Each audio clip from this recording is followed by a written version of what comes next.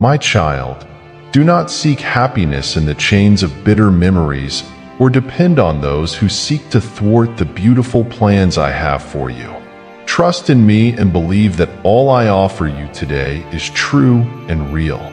You possess an abundance of ideas, dreams, talents, and skills, many of which you have yet to fully realize.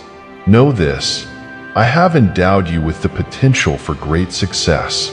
Rise up, knock on doors, and watch them open for you. The doors that I open, no one can shut. I have no desire to see you idle, burdened by the despair of unrealized dreams. That is not the future I planned for you. Move forward with confidence toward the success that awaits. The journey won't be easy. It will require perseverance, but you will not be alone. My angels will encircle you, providing support in every challenge you face.